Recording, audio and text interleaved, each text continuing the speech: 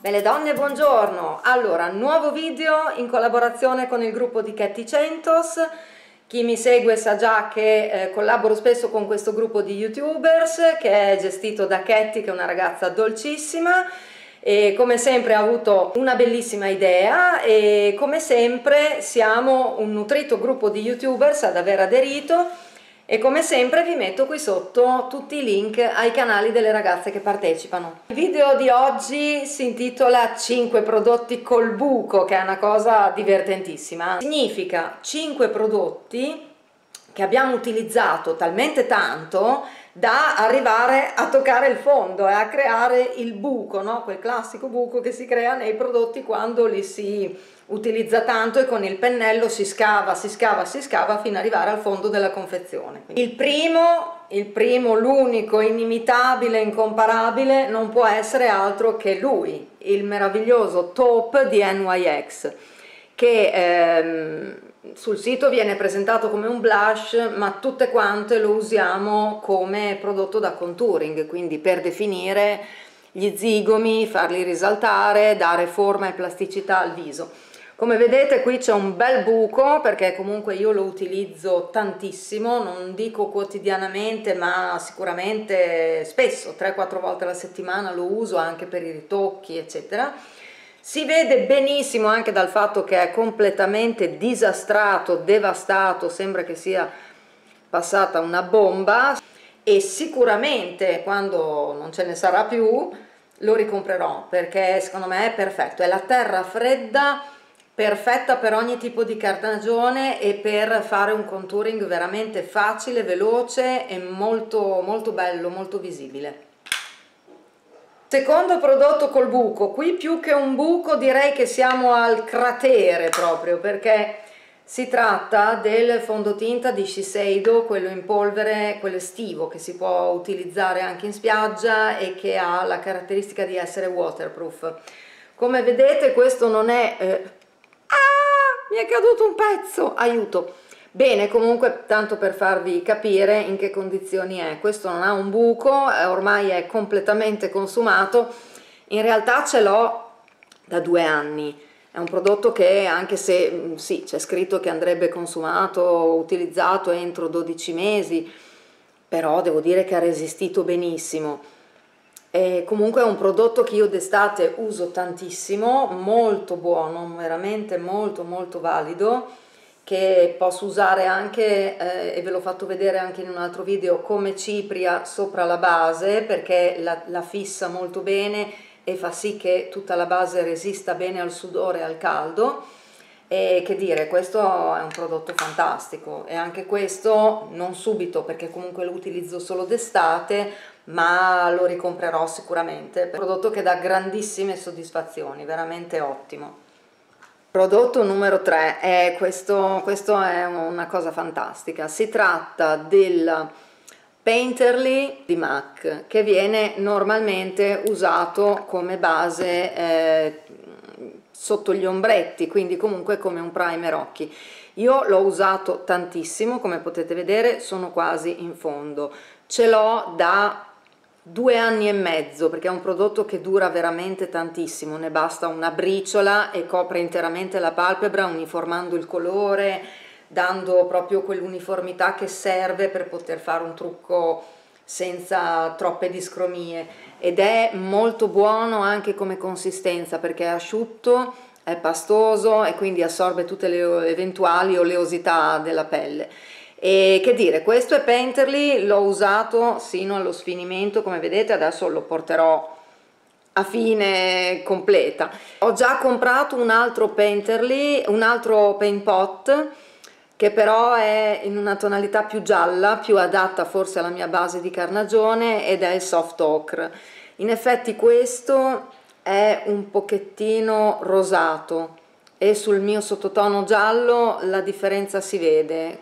Quando ho provato il soft ocre mi sono accorta che effettivamente era più adatto a me, però sicuramente questo lo finisco perché in ogni caso è estremamente valido, è un prodotto di grandissima qualità e io lo apprezzo tantissimo. Quarto prodotto col buco, disastrato anche questo che sembra che gli sia passato sopra un treno, è questa palettina di Shiseido che ha qualche anno, oltre a essere molto piena di ditate, ma vabbè, con i packaging lucidi c'è poco da fare, le ditate anche se le pulite si vedono.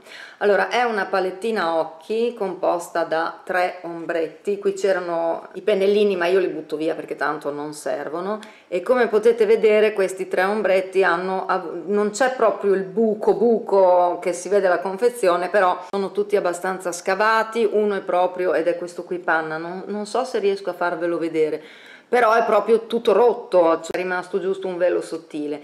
E che dire, è una palette che ovviamente, come potete notare, ho usato tantissimo perché ha dei colori bellissimi che stanno molto bene con gli occhi scuri, sono abbastanza pigmentati, satinati, quindi non troppo shimmer, ma nemmeno opachi e mm, insomma mi sono sempre piaciuti molto. Questo è il prugna, è un prugna chiaro che tira leggermente al viola e bellissimo sia nella piega dell'occhio che su tutta la palpebra. Questo è il pesca che poi in camera sembra più giallo, in realtà ha anche un pelo di sottotono rosa e questo è il panna che ovviamente eh, fa il suo lavoro egregiamente, cioè sotto l'arcata sopraccigliare, nell'angolo interno e al centro della palpebra per creare il punto luce e rendere più evidente il globo dell'occhio. Solo con questa, una matita nera o un mascara, si fa un trucco occhi veramente completo e molto bello da vedere, si può fare sia pesante, pesante. Sia più evidente che tenersi molto leggere per una cosa da giorno molto tranquilla. Non so se la ricompro però sicuramente è stato un acquisto molto indovinato molto giusto. Ultimissimo prodotto col buco una delle mie palettine preferite che anche questa ce l'ho da un paio d'anni. È una palettina di Bare Mineral e si chiama la variante colori si chiama The After Party.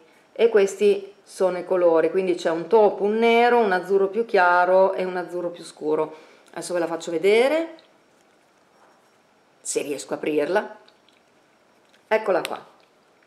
Allora questo è il taupe, questo è il nero che è leggermente brillantinato.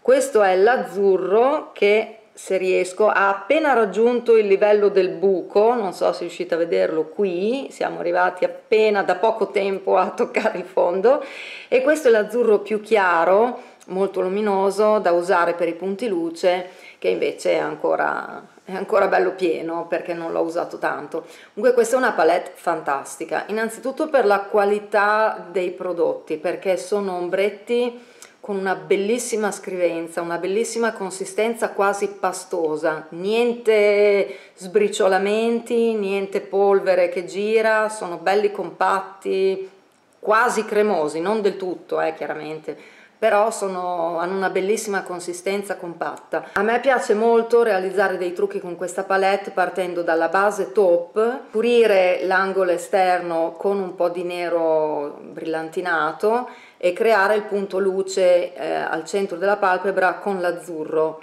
Mentre invece questo più chiaro lo uso solo per l'angolo interno dell'occhio. Comunque è una palette bellissima. Vi faccio vedere con l'altra mano gli swatch. Questo è il nero che come vedete ha dei piccolissimi brillantini all'interno.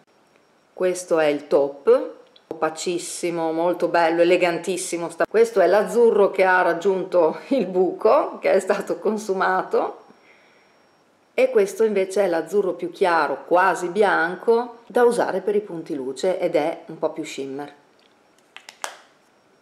Bene bimbe, allora questi erano i miei 5 prodotti col buco, io ringrazio ancora Ketty per questa bellissima e divertentissima idea, per avermi invitato a partecipare Spero che il video vi sia piaciuto, mm, se avete dei prodotti col buco di cui avete voglia così di chiacchierare mettete un commentino qui sotto, scrivetelo, insomma in qualche modo eh, fatemelo sapere.